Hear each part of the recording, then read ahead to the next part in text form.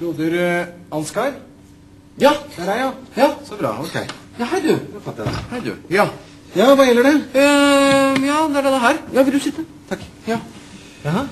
Ja, så den, Jeg har ikke fått gjort noen ting hele formiddagen. Okay, Ok, Nei, jeg beklager at det tar tid. altså, skjønner. Vi holder på å legge om til et helt nytt system, og da skal alle ha hjelp på en gang. vet du. Ja, Eh, så du kommer ikke inn i den, eller? Nei, den bare ligger der.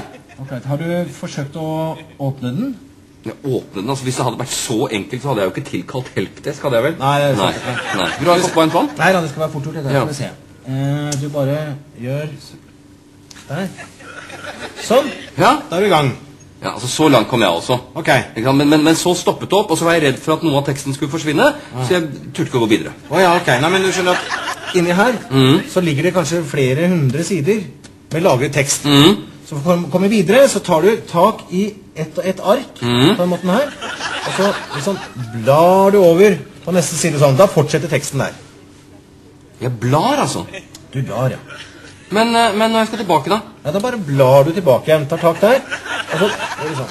Der. Så er du tilbake til den teksten du hadde sa. Ikke noe Ok, så den slutter der, Ja. og så Så fortsetter den der, ja.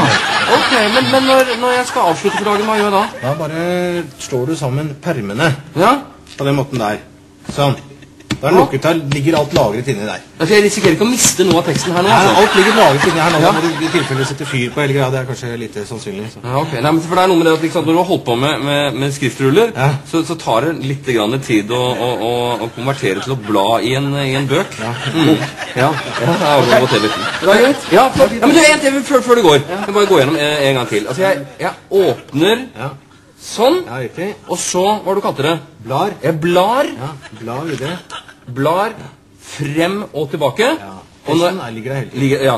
og når jeg, når jeg skal, er ferdig, så bare lukker jeg den. Oi. Flott. Kjempefint. Ja, flott. Nei, men du, nei, vent, ikke sant?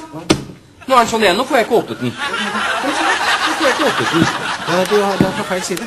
Du åpner, åpner med åpne fra, fra andre siden. Så det er ikke likegyldig, det, altså? Nei, åpne fra den siden der. Sånn. Der. Der er den åpen. Ja vel.